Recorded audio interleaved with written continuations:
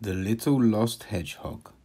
Miss Hedgehog had such a large family that she had to wash lots of clothes every day.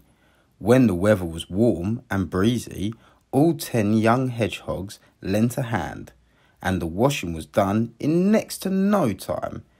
Today is perfect for washing our clothes, said Mrs. Hedgehog as she gave everyone a job. Two of you scrub the clothes, two of you rinse off the soap, Two of you wring them dry. Two of you hang them on the line, and two tiny ones hand me the pegs. Very soon, all the dirty clothes were clean and bright and hanging on the clothesline in the sun. We all deserve a rest, smiled Mrs. Hedgehog. So she sat down on the grassy bank near the clothesline, took off her hat, and put it down by her side.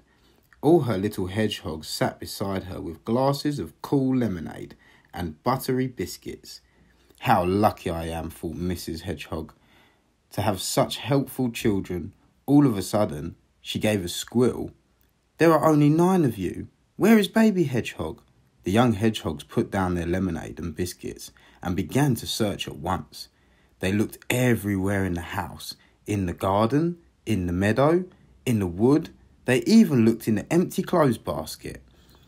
Baby Hedgehog can't have disappeared, cries Mrs. Hedgehog. Very worried, he was sitting right next to me on the grassy bank eating his buttery biscuit. The rest of that day, all the hedgehogs searched long and hard.